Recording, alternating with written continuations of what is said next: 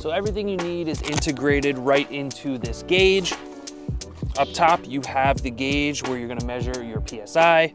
And this end, you have the quick deflator valve. And this right here is to remove the valve from inside your stem so there's nothing obstructing the airflow for the fastest possible deflation. Just go ahead, remove your valve stem cap. Don't lose it in the mud. Ask me how I know. So to attach this to your valve stem, you're going to turn this collar right here to screw it on.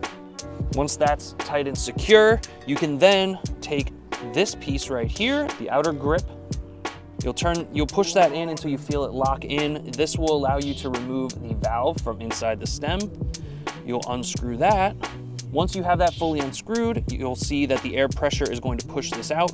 That means that the valve has been removed from the stem and you will get your PSI reading on the gauge.